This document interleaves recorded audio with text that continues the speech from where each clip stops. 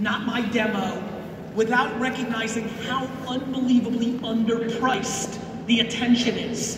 And when I say underpriced attention, I stand here today for a very, for many different reasons, mainly on the back of very good parenting and circumstance of not being born here.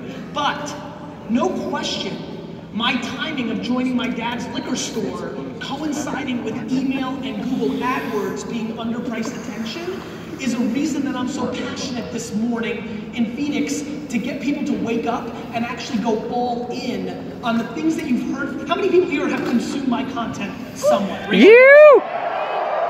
Thank you. For that group, I'm actually way more concerned for that group than the people in here that aren't here for me and have never heard any of this. Because for the group that has consumed my content, my concern is that the repetitive nature of me trying to desperately at all cost, without interest in monetizing you, to go into these channels and get yours